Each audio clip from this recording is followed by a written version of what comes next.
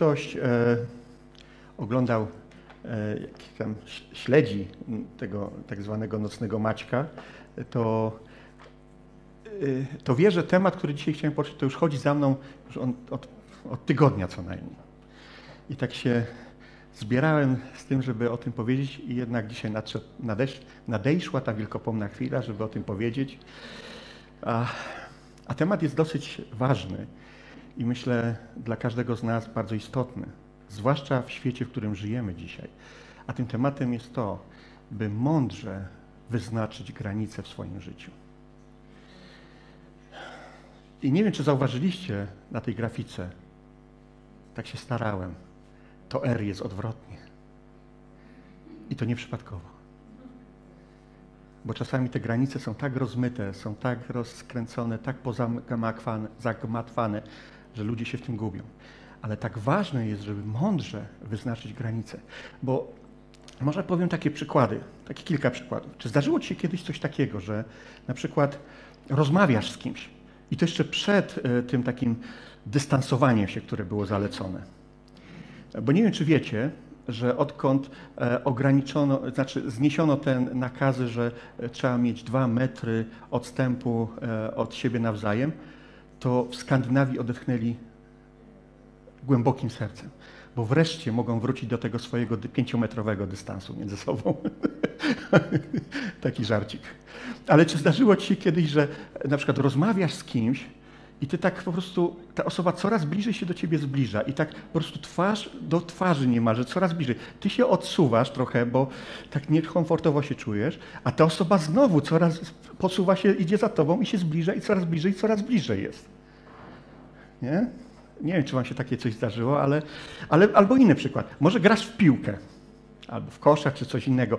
I ktoś się uwziął na ciebie i po prostu e, tak zwane kryje cię po prostu w każdej chwili, w każdym momencie. Nie daje ci nawet e, zagrać coś porządnego, bo po prostu co chwilę jest koło ciebie. I nie możesz się od niego uwolnić. Albo może jeszcze inny przykład. Jedziesz samochodem swoim wyznaczonym pasem, tak jak powinno być, tak jak przepisy nakazują. I nagle patrzysz, że ktoś z naprzeciwka pojawia się na twoim pasie. Niektórzy tego doświadczyli. Bliskie spotkania były. Ale wiecie, mówię o tym dlatego, bo co te wszystkie rzeczy mają ze sobą wspólnego? Coś, że one powodują, że czujesz się niekomfortowo, czujesz się źle, może czujesz się zagrożony, czujesz się, że coś jest nie tak. Dlaczego tak jest? Bo twoje granice zostały naruszone. Bo granice, które ty masz, które wyznaczyłeś, czy które wyznacza tobie e, biała, ciągła linia na drodze na przykład, ktoś naruszył te granice. I to powoduje właśnie takie, takie uczucie dyskomfortu, strachu, złości, przerażenia. Dlatego chciałbym dzisiaj mówić właśnie o takich mądrze wyznaczonych granicach. Bo wiecie, ja myślę o tym, że Bóg dał nam granice, i chociażby to, że dał nam przykazania, dał nam prawa, e, które, nam, e, które, które znajdujemy w Biblii, po to, żeby wyznaczyć pewne granice w naszym życiu.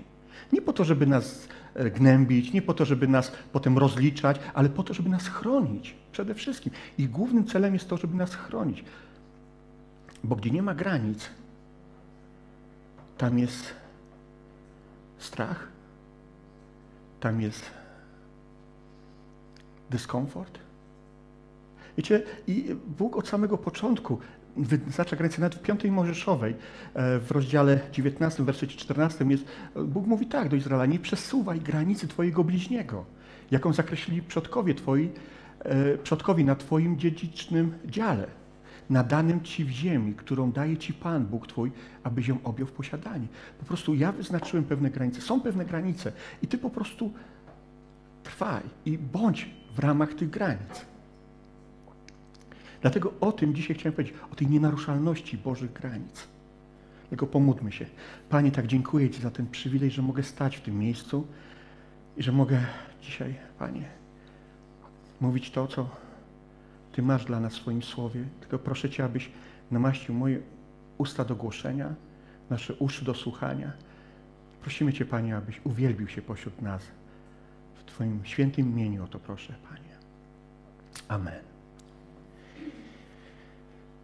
Dzisiaj chciałem, mówiąc o tym, chciałem posłużyć się przykładem jednego męża Bożego, bardzo ciekawego człowieka, ale zanim jeszcze do niego przejdziemy, to pomyśl o takiej sytuacji. Co by było, gdyby, gdyby ktoś poza Bogiem słyszał Twoje modlitwy, które zanosisz do Boga? Modlisz się do Boga i ten ktoś by słyszał to, co Ty mówisz do Boga i potem widział Ciebie, jak żyjesz. Jakie miałby zdanie na temat Boga, w którego wierzysz?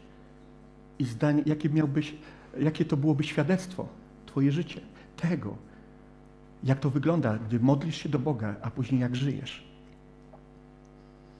Dlaczego o tym mówię? Bo ten człowiek, o którym dzisiaj chciałem powiedzieć, on pokazuje mi, jak spójne jest to, z czym on przychodzi do Boga, z tym, co robi w swoim życiu.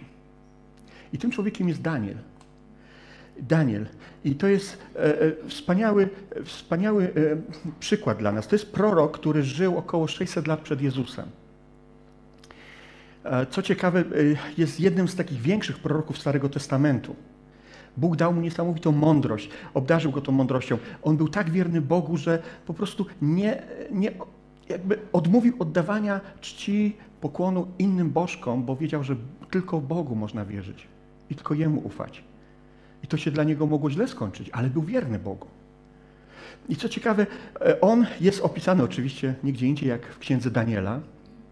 Jeżeli e, macie Biblię brytyjskie, to możecie sobie otworzyć na stronie 945. Tam jest, będziemy mówić z pierwszego rozdziału. Ale tak, żeby przybliżyć troszeczkę, w tym czasie, gdy ta akcja się rozgrywa, o której czytamy w Biblii, w tym samym czasie na świecie działo się wiele ciekawych rzeczy. Między innymi rozpoczęła się budowa Akropolu w Atenach. Właśnie w tym czasie, mniej więcej. W tym czasie też rozkwitała cywilizacja Majów w Meksyku. W tym samym czasie e, sztuka grecka zaczęła kwitnąć i e, Fenicjanie odbyli pierwszą podróż morską wokół Afryki. Wiele rzeczy się działo wtedy na świecie. Ale tam, w Jerozolimie, w Izraelu, działo się też coś szczególnego. Coś bardzo ciekawego. Można powiedzieć, no, w pewnym tego słowa znaczeniu, no, coś przykrego. Bo oto Babilończycy zdobywają Jerozolimę. Przybywają do Jerozolimy i ją zdobywają. I czytamy o tym w pierwszym rozdziale, w pierwszym wersecie. Trzeciego roku panowania Joakima, króla judzkiego, nadciągnął Nebukadnezar, król babiloński, do Jerozolimu i obległ je. Król Babilonu przybywa do Jerozolimy z wojskami swoimi. I w drugim wersecie czytamy, i Pan wydał w ręce, w jego ręce Joakima, króla judzkiego, i część naczyń domu Bożego. On zaś sprowadził je do ziemi Shinear, do domu swojego Boga, a naczynia wniósł do skarbca swojego Boga. Nabukadnezar zdobył Jerozolimę, wszedł do świątyni, pokonał króla e, judzkiego, wszedł do świątyni i zabrał ze świątyni naczynia święte, które tam były i zaniósł je do swojej świątyni, do swojego bożka i tam złożył. Wiecie, to jest, to jest takie ciekawe, bo to mówi mi o tym, że to była pewnego rodzaju deklaracja. Takiego pokazanie wszystkim wokoło. Wiecie, wasz Bóg nie jest taki mocny, za jakiego go uważacie. Mój Bóg jest lepszy niż wasz Bóg. Jak to klasyk mówi.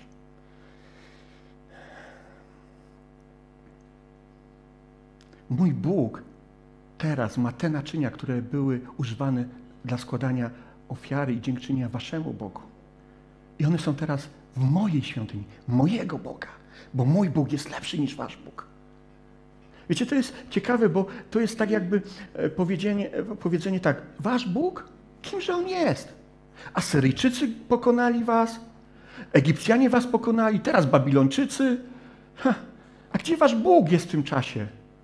Znaczy, teraz te wszystkie rzeczy, które były w waszej świątyni, teraz idą do naszej świątyni, naszego Boga, bo nasz Bóg jest z nami i On daje nam zwycięstwo i On daje nam możliwość, żeby was pokonać.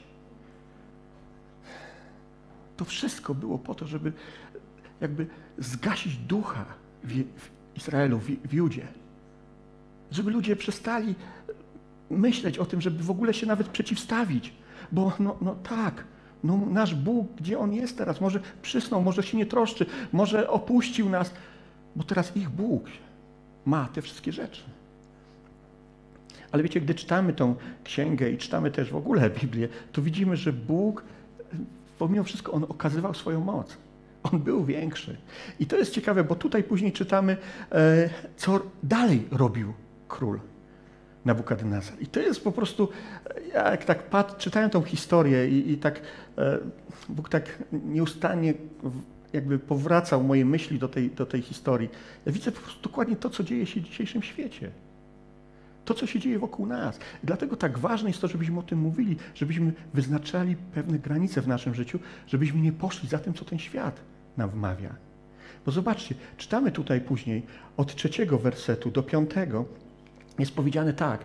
I rozkazał król Aszpenazowi, przełożonemu nad sługami dworskimi, sprowadzić niektórych spośród synów izraelskich z królewskiego i szlachetnego rodu, młodzieńców bez jakiejkolwiek wady, pięknych z wyglądu, uzdolnionych do wszelkiej wiedzy, obdarzonych bystrym rozumem, pojętnych do nauki i dlatego sposobnym do pełnienia służby w Pałacu Królewskim.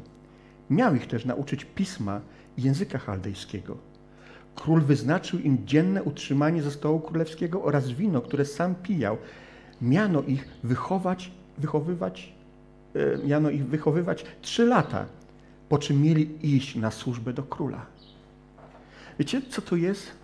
To jest nic innego, jak zabranie tego, co najlepsze w Judzie, tego, co najlepsze w Jerozolimie i zindoktrynowanie tego pozbawienie e, e, podbitego narodu tego, co miał najlepsze. No, czytamy w czwartym wersecie, tu czytaliśmy, że to byli młodzieńcy nie tylko piękni, ale uzdolnionych do wszelkiej wiedzy, obdarzonych bystrym rozumem, pojętych do nauki. Śmietanka narodu. Weźmy ich do siebie, zindoktrynujemy ich i oni już będą naszymi sługami i będą nasze rzeczy promować.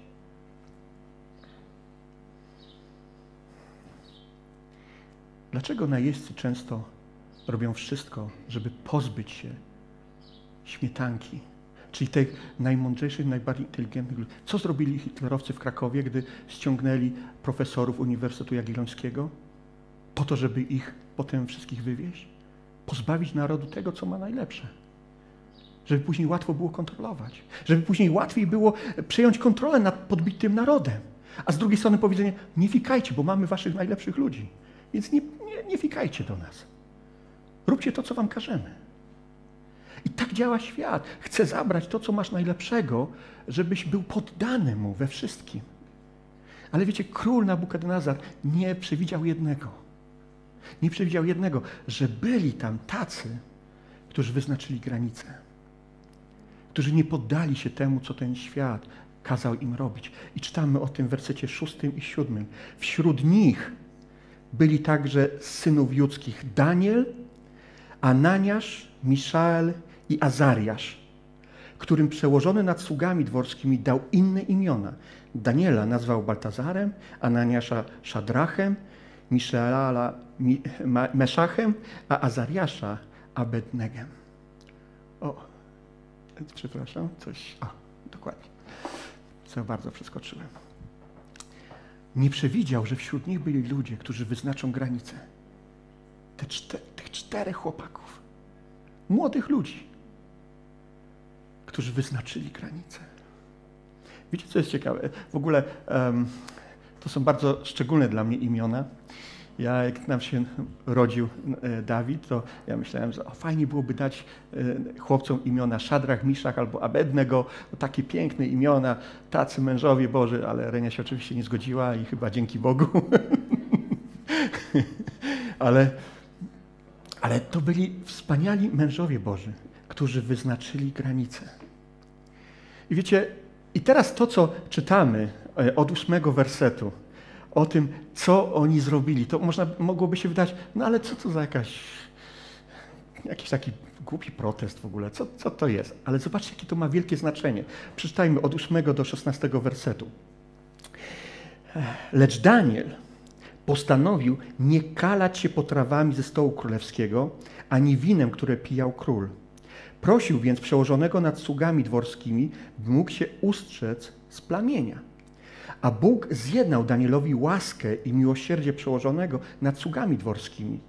Przełożony nad sługami dworskimi rzekł do Daniela, boję się, że król twój pan, który wam wyznaczył pokarm i napój, zauważy, że wasze twarze są chudsze niż młodzieńców w waszym wieku i narazicie moją głowę na niebezpieczeństwo u króla.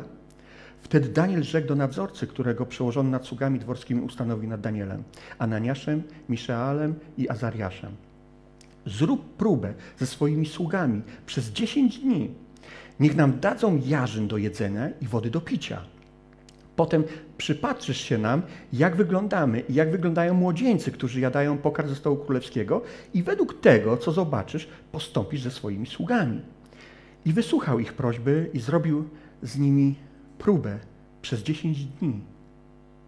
A po upływie dziesięciu dni okazało się, że lepiej wyglądali i byli tężsi na ciele niż wszyscy młodzieńcy, którzy jadali pokarm ze stołu królewskiego. Dlatego nadzorca odstawił ich pokarm i wino, które mieli jeść i podawał im jarzyny. Można powiedzieć, no ciekawa, ciekawa, ciekawa jest po prostu historia, ale o co chodzi? O co, come on. Przecież Danielu, mogliście jeść wszystko. Mieliście stoły zastawione, mogliście pić, hulaj duszą, no po prostu cokolwiek byście chcieli. Najeźdźcy wzięli was nie po to, żeby was ciemiężyć w więzieniach, ale mieliście dostęp do wszystkiego, co oni chcieli wam dać. Ale Daniel postanowił, że nie będzie spożywał pokarmów, ani nie będzie pił ze stołu królewskiego. W tym sensie podjął decyzję i powiedział: Nie, ja wyznaczam pewną granicę w moim życiu. Granicę, której nie przekroczę. Wiecie, dlaczego tak ważne są te granice w naszym życiu?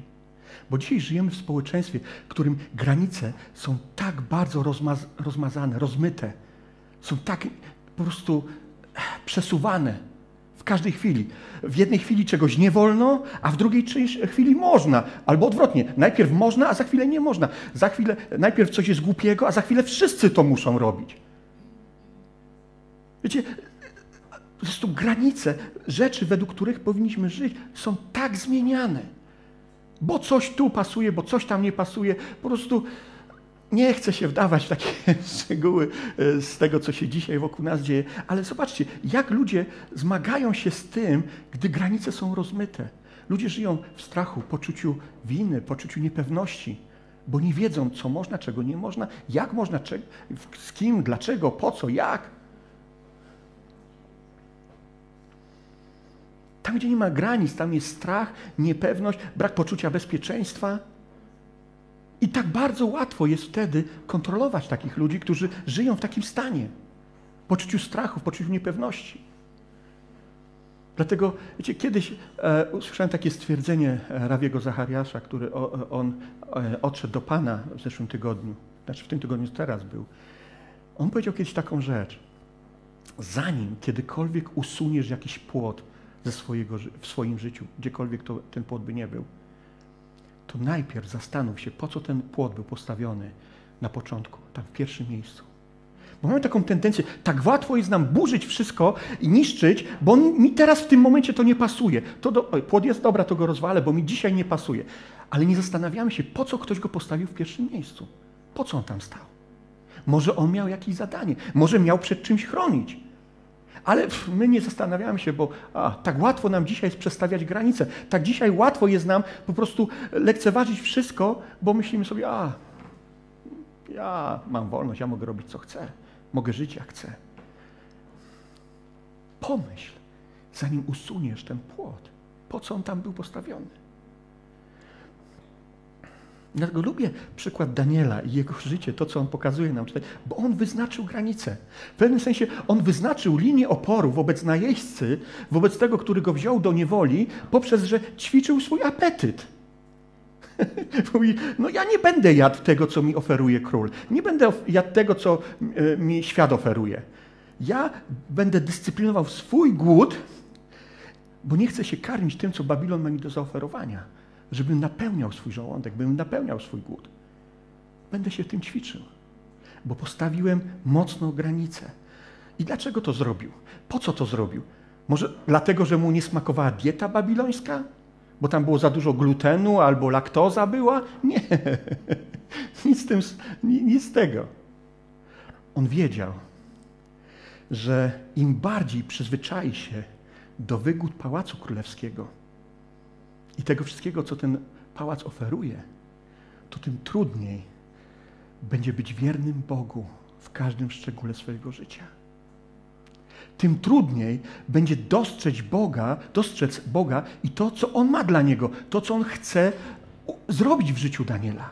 No bo ja już będę taki przyzwyczajony do tego, będę uzależniony od tego świata, od tego, co mi Babilon oferuje, że nie będę już myślał o tym, co tak naprawdę jest dla mnie najważniejsze w życiu i do czego Bóg mnie powołuje. I tak naprawdę tak trudno mi wtedy będzie dostrzec, jeżeli się przyzwyczaję, uzależnię od tego dworu, nie dostrzegę tego, że to wszystko, co się dzieje, to pewnego rodzaju indoktrynacja, po to, żeby mnie wyuczyć pewnych rzeczy, których ja które sprawią, że ja przestanę być wierny Bogu, jedynemu prawdziwemu Bogu. No bo przecież tym łatwiej będzie mi się zjednoczyć później z wrogiem i być razem z nim. A, w takiej jedności, w zjednoczeniu, bo przecież nikt nie będzie gryzł ręki, która ją karmi. A, a, w pewnym sensie, Danielu, kupimy Ciebie. Chodź, będziesz korzystał ze wszystkich naszych dobrodziejstw. Będziesz jadł to, co my ci oferujemy. Ze stołu królewskiego. Czy można coś lepszego sobie wymyśleć? Wiecie, i to jest często działanie wroga, który będzie chciał nas odciągnąć od tego, co Bóg ma dla nas. Zobacz, jaki fajny jesteś. Świat będzie kusił nas swoimi porządliwościami i mówił, zobacz, jak fajnie, fajnie tu jesteśmy, jak fajnie jest u nas. Zjednoczmy się razem, bądźmy pełna ekumenia, wszystko jest do... O, wiecie, te reklamy, to wszystko, co się dzieje, co widzimy wokół nas. Po prostu, jak ja czasami patrzę na ludzi, którzy wypowiadają się na różne tematy i po prostu tak trudno jest coraz bardziej znaleźć prawdę. Bo coraz więcej wypowiadają się ludzie, którzy są opłacani, żeby pewne rzeczy mówić. I myślimy, o, to, to jest tak, brzmi fajnie, zjednoczmy się z tym. Idźmy za tym. Ten świat mi tak wiele oferuje, tak wiele ma do zaoferowania, to ja pójdę w tym kierunku. A co z Bogiem? A co z Bożym powołaniem? A co z tym, co Bóg ma dla nas w swoim słowie? Nie, no po prostu zjednoczmy się. Bądźmy. Nie, przykład Daniela pokazuje mi, jak ważne jest to, żeby wyznaczyć granice, żeby nie iść na kompromis, nie iść na ustępstwa wobec tego świata. To było trudne, bo Daniel e, musiał oprzeć się tej pokusie tego, żeby mieć do wszystkiego dostęp, korzystać ze wszystkich dobrodziejstw z tego pałacu. Jeść tylko jarzyny i wodę. A co ze stejkiem? A co z takimi rzeczami? Nie idźmy tą drogą. Ale wiecie, to jest tak ważne, bo świat, w którym żyjemy, on chce kształtować nasz sposób zachowania, nasz sposób myślenia i żebyśmy robili to, co on nam narzuca.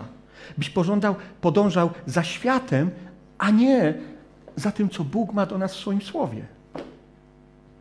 Bo tak, świat ma wiele do zaoferowania. Świat wiele rzeczy chce nam dać. Ale czy w ostatecznym rozrachunku to jest dobre, to co on chce nam dać? To, co on nam daje? Co nam oferuje? On chce, żebyśmy, patrzyli na wszystko swoimi naturalnymi oczami, ale żebyśmy pominęli Bożą mądrość, którą mamy tutaj w tym słowie. A, jak fajnie tu jest przyjmować, jak fajnie jest zjeść i karmić się tymi wszystkimi wspaniałymi rzeczami z tego stołu. I tak naprawdę, abyśmy robili bezmyślnie to, co On nam każe. Byśmy jedli z tym światem, byśmy karmili się tym, co ten świat oferuje, abyśmy przyjmowali bezkrytycznie wszystko, co ten świat nam powie.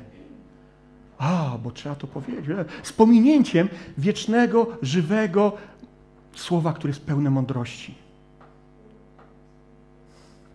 W środę mówiliśmy o Bożej mądrości i, i tak też dużo na ten temat teraz myślę, bo żyjemy w świecie, w którym tak bardzo potrzebujemy Bożej mądrości.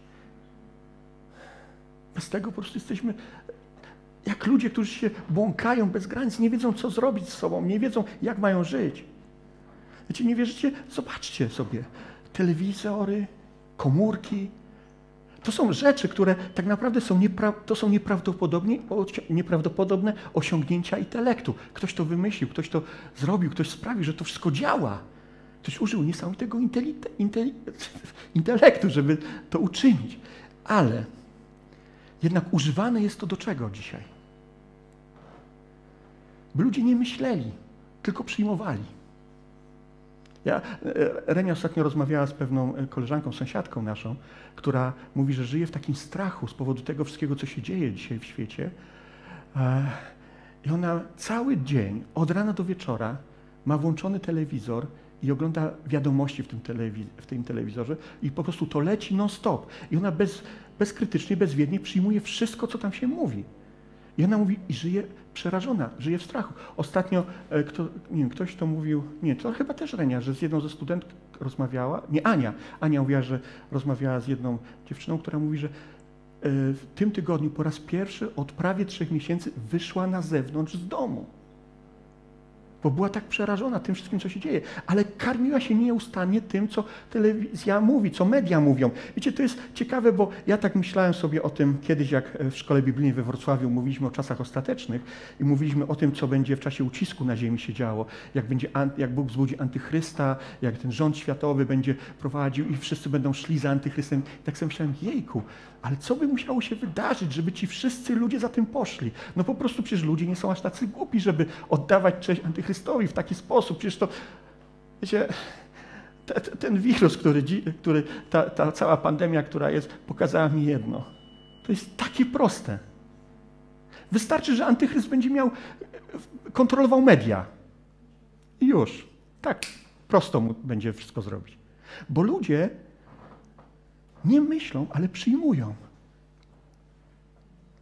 Wiecie, dlatego to, to powiedzenie chleba i igrzysk to wystarczy, tego potrzeba tylko, żeby zaślepić umysły ludziom, żeby poszli na kompromis i żeby przestali patrzeć na to, co Biblia mówi, na to, co Boża, jaką, na Bożą mądrość, ale żeby byli pochłonić tym wszystkim. Wiecie, dla mnie taki kolejny przykład. E, pomyślcie o rozwiązłości takiej seksualnej, która jest teraz tak bardzo panuje na świecie, o pornografii. Wiecie, gdy to, te rzeczy dostają się do młodego umysłu i zaczynają, ten umysł zaczyna nasiąkać tym, a media dzisiaj po prostu jakby promują to tak bardzo. Ostatnio, kiedyś, jakiś czas temu rozmawiałem z kimś na temat e, e, tego, co Netflix oferuje. Praktycznie każdy film, który tam jest produkowany, zawsze musi być jakiś wątek, wątek takiej właśnie rozwiązłości, jakiegoś homoseksualizmu i tego typu rzeczy. Nawet Renia mi zwróciła uwagę, że Ania z Zielonego Wzgórza, piękna książka, która została napisana przez żonę pastora z bardzo wartościowymi E, wartościowym przesłaniem. No i teraz nakręcony został film, puszczony jest tam. I co? Wątki homoseksualne oczywiście musiały się tam pojawić. Wiecie, i to jest, świat będzie robił to po to, żeby na, nasiąkały te umysły. A dlaczego tak jest? Bo z czasem, gdy się nasiąkamy tym, tak jakbyśmy przy tym stole siedzieli królewskim, zajadali cały czas przy tym stole, to z czasem przestajemy widzieć zagrożenie to z czasem stajemy się obojętni na to, co się dzieje, i dla nas jest to normalne. Dla nas jest to oczywiste. I mało tego, zaczynamy czuć takie pragnienie, taki apetyt, że chcemy więcej i więcej i więcej. I gdy mam taki apetyt niezaspokojony, chcę tego więcej i więcej, to co robię? Idę na ustępstwa, idę na kompromis i zaczynam żyć według modułu tego świata. A, bo wtedy dopiero czuję się, że coś zaspokaja się w moim życiu. Dlatego potrzebujemy tej mądrości ze Słowa Bożego. Potrzebujemy przekonań ze Słowa Bożego. Potrzebujemy wyznaczyć granice w swoim życiu, bo coś, czego świat nam nie powie i czego Tobie nie powie i mi nie powie, to to, że pewnego dnia nadejdzie czas zapłaty. Trzeba będzie zapłacić za to. Ktoś będzie musiał ten rachunek zapłacić. Oczywiście my nie lubimy tego słuchać. Pewnie myślicie, ojejku pastorze, aleś sobie wymyślił kazanie po prostu pierwszy raz po, po, e, po, e, po tym ograniczeniach, wszyscy mogą się spotkać, a ty takie mówisz. Tak. Wiecie, tak, wiecie dlaczego? Bo to jest tak ważne w dzisiejszych czasach. Oczywiście, że my nie lubimy słuchać takich rzeczy, bo tak jak mówi Jeremiasza 17:9, serce człowieka jest zwodnicze, kto może je poznać? Serce człowieka jest takie bez Boga, jest po prostu ciągnie tam, gdzie nie powinno. Ale właśnie dlatego potrzebujemy wyznaczyć granice w swoim życiu. Potrzebujemy w pewnym sensie tak ćwiczyć swój apetyt, żeby nie ulec temu, co ten świat próbuje nam wtłoczyć w nasze umysły. Żebyśmy mogli stanąć w tej mądrości Słowa Bożego. Bo ciekawe jest to, jak czytaliśmy tą historię, jak, jak Daniel, jaki był pewny tego, że Pan jest z nim i że, że on nie potrzebuje tego świata i tego, co ten świat oferuje, po prostu wystarczy mu, że ma Boga. Bo nawet ten e, sługa, e, ten, e, to był przełożony nad sługami, powiedział do Daniela, słuchaj, ale wiesz co, no, jeżeli ja tobie nie, ty nie będziesz jadł tego, co wszyscy, no to wiesz, ty osłabniesz, będziesz słaby i król to zobaczy. I wtedy ja będę miał problemy. Więc no, może nie, może idź na lekki kompromis. Może, wiesz, no, co ci zaszkodzi? No, zjedz. Nie? Dani, nie. Moja granica jest wyznaczona i mam taką pewność w Panu, że po prostu chcesz? Zróbmy sobie, zróbmy taki test. Spróbuj nas. Przez 10 dni będę jadł same jarzyny razem z chłopakami. Szadrach, Miszach i Abednego. Będziemy mieć same jarzyny i pić wodę. I po 10 dniach zobaczymy. Jeżeli rzeczywiście będzie tak, jak mówisz, a mój Bóg nie będzie wierny, no, no to okej, okay, dobra, niech ci będzie. Ale ja jestem przekonany, że Bóg będzie wierny. I w wersecie 12 13 e, on, e, właśnie o tym mówi.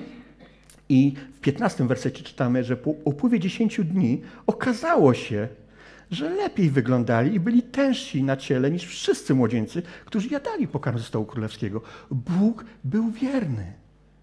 I byli silniejsi i lepiej wyglądali niż wszyscy inni, mimo że nie jedli tak jak inni.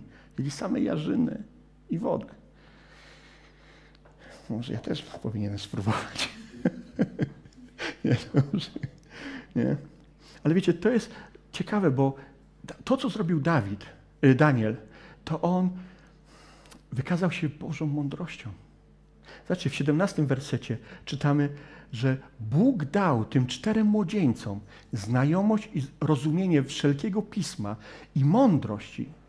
Daniel zna, zaś znał się na wszelkiego rodzaju widzeniach i snach. Bóg dał mądrość. Daniel co zrobił? On wyszedł poza to uczenie się czegoś, ale szukanie mądrości. On wybrał, aby szukać Bożej mądrości, niż uczenie się wszystkiego, co wokoło. Nie uzależnił się od pałacu króla, od rzeczy tego świata, ale był wierny Bogu. Bo miał tą mądrość z góry, której tak bardzo potrzebujemy w naszym życiu codziennie. Dlatego potrzebujemy tej mądrości. Wiecie, tak. E, w środę po tym naszym e, nabożeństwie, gdy mówiliśmy o tej mądrości, tak rozmawialiśmy o tym też, że świat szuka dzisiaj procedur. Co, jak, gdzie, z kim, ale nie szuka mądrości. Powiedz mi, co mam robić, czego mam nie robić, a co z mądrością? Tą mądrością z góry, tą Bożą mądrością. Boże, ja potrzebuję Twojej mądrości. I Bóg jest wierny i chce dać nam odpowiedź. On mówi w Jakuba 1 do, od 5 do 6 jeżeli mi brak mądrości, to gdzie mam jej szukać? Przychodzę do źródła wszelkiej mądrości, do Boga, który ma wszelką mądrość i On co powiedział? Chętnie da. Bez wypominania. Po prostu przyjść do Niego. Powiedz, Boże, potrzebuję Twojej mądrości w tej sytuacji. Co mam zrobić? Ja nie chcę procedur, które ten świat mi narzuca, albo odpowiedzi, które ten świat mi mówi, bo dzisiaj są takie, a jutro będą inne. Dzisiaj to, tamto. Ja może, no Boże, jak powinien się zachować w tej sytuacji? Jaką drogą pójść? To po pierwsze, przychodzimy do Boga, który jest źródłem wszelkiej mądrości, ale po drugie, Bóg już dał nam też tak wiele tutaj w tym słowie. I Psalm 119, wersety od e, 97 do 100 mówi, zobaczcie, jak, jak nie, prawdopodobne jest to słowo. O, jakże miłuje zakon Twój. Przez cały dzień rozmyślam o nim. Przykazanie Twe czyni mnie mędrszym od nieprzyjaciół moich, ponieważ mam je na zawsze. Jestem rozumniejszy od wszystkich moich nauczycieli. Chcesz być mądrzejszy od nauczycieli? Karm się tym słowem. Bo rozmyślam o świadectwach Twoich. Jestem roztropniejszy od starszych, bo strzegę przykazań Twoich. To jest mądrość. To jest mądrość, gdy ja przychodzę do Boga i mówię, Boże, może ten świat mówi mi to i tamto, ale co Ty masz mi do powiedzenia? Co Ty chcesz mi powiedzieć w tej sytuacji? Jaka jest Twoja mądrość w tym? Dlatego szukam Ciebie, bo tak jak w drugim Tymoteusza 3, 15, 17 jest powiedziane, ponieważ od dzieciństwa znasz Pisma Święte, które Cię mogą obdarzyć czym? Mądrością. Ku zbawieniu przez wiarę w Chrystusa Jezusa. Całe Pismo przez Boga jest natchnione i pożyteczne do nauki, do wykrywania błędów, do poprawy, do wychowania w sprawiedliwości, aby człowiek Boży był jaki? Doskonały do wszelkiego dobrego dzieła, przygotowany. To jest to słowo, którego potrzebujemy. Potrzebujemy tej mądrości z góry. I Bóg daje nam to. I mówi, to jest mądrość, której powinieneś czerpać. Ale jeszcze jest trzecia rzecz, która jest też po, pomocna w tym, aby szukać tej mądrości. Poznaj ludzi, którzy wiele przeszli przez swoje życie i zachowali wiarę. Rozmawiaj z takimi ludźmi. Poznawaj tych ludzi. Dowiaduj się, dlaczego tak było, co ich trzymało w tych trudnych sytuacjach, co się wydarzyło, że, że zachowali wiarę i byli wierni Bogu, pomimo tych wszystkich okoliczności. Nie, Daniel, Danielu, jak to było, że ty po prostu nie żywiłeś się tym wszystkim, co ten świat oferował, żywiłeś się trawą i wodą, a jednak byłeś silniejszy i niż wszyscy inni.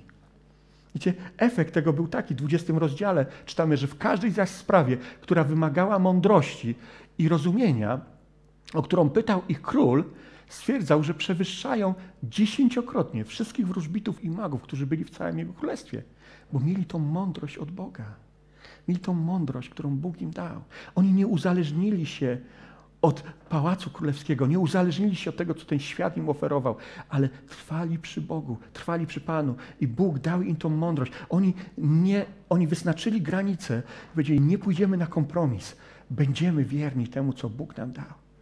I nawet później, gdy e, król umarł i pojawił się nowy król i wrogowie Daniela podjudzili króla i, i ten rzucił go do jaskini z lwami na pewną śmierć. I Szadrach, Miszach i Abednego podobnie do pieca ognistego e, e, zostali wrzuceni. Jaka była ich postawa? Co oni wtedy mówili? Pan nas wyzwoli. Pan jest z nami. A nawet jeśli nas nie wyzwoli tutaj, z tego miejsca, z tej jaskini z lwami, czy tego pieca ognistego, to i tak mu ufamy. Nie pójdziemy na kompromis z nim. To będzie wtedy tak jak rydwan ognia, które porwały e, e, e, Ezechiela, tak? Eliasza do nieba i, i po prostu był już z Panem na zawsze. Na, z Panem. Czy, czy tu, czy tam, ja jestem z Panem. I Bóg, bo wierzę Bogu. Wiecie, dlatego ja myślę, że to tak ważne jest to, żebyśmy w naszym życiu mieli odpowiednio wyznaczone granice. Że nie, nie pójdę na kompromis z tym światem. Nie uzależnię się od tego świata. Żyję w tym świecie, ale nie jestem z tego świata. Moja ojczyzna jest w niebie, tam, gdzie zmierzam. Dlatego ja nie będę poświęcał całego swojego życia na to, żeby tutaj na ziemi sobie budować swoje królestwo, bo i tak to wszystko zostawię. Dlatego ja zmierzam do nieba i tam jest moja ojczyzna. Nie tak, mieszkam na tym świecie, ale nie jestem z tego świata. Dlatego potrzebuję Bożej mądrości w tym wyznaczeniu granic. Granic, które będą trzymać nas blisko Boga i dawać nam właściwą perspektywę na te rzeczy, które się dzieją wokół nas. Żebyśmy nie musieli ulegać porządliwościom tego świata i żyć w strachu, przerażeniu, rozproszeniu, ale byśmy mieli stały, mocny umysł, tą mądrość z góry. Bóg dał nam swoją, swoje słowo. I wiecie, tak już na zakończenie, ktoś kiedyś powiedział piękne słowo, takie stwierdzenie, że albo ta, ta księga będzie trzymać nas z daleka od grzechu, albo grzech z daleka od tej księgi. Prawda, wyznaczmy mądrze granice w swoim życiu. Nie, nie pójdę na kompromis. Nie zachowam wierność dla Pana, bez względu na koszty. Bo wiem, że On będzie wierny, że On jest wierny i mogę Mu zaufać. Pomódlmy się. Panie, tak dziękuję Ci za to, że Ty jesteś źródłem wszelkiej mądrości. I my możemy czerpać od Ciebie z tej mądrości, którą Ty nam dajesz. Dziękuję Ci, Panie, za Twoją łaskę, za Twoją miłość, Twoją mądrość i za to, że możemy przychodzić do Ciebie i szukać tej mądrości. Nie szukać procedur, odpowiedzi, ale szukać Ciebie, Twojej mądrości w każdej sytuacji. Dlatego, Panie, daj nam taką mądrość, jak wyznaczać granice, jak mówić nie porządliwością świata, a tak Twojemu duchowi, który nas prowadzi. Dziękuję Ci, Panie, za to. Uwielbi się pośród nas i błogosław jeszcze resztę tego nabożeństwa w Twoim świętym imieniu. O to prosimy. Amen.